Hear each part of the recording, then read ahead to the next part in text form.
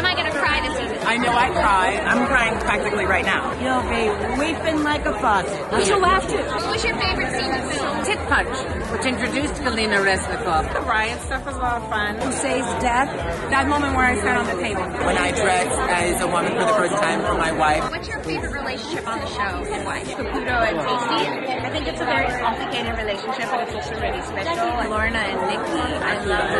Taystee and Hussein's relationship. So beautiful, so realized. They're really good friends in real life. Fred and Nicky. There's a mother-daughter. The good, the bad, and the ugly. Alex Taylor, just the messiness and the love. Orange forever! Orange forever. Orange forever! Orange forever! Orange forever!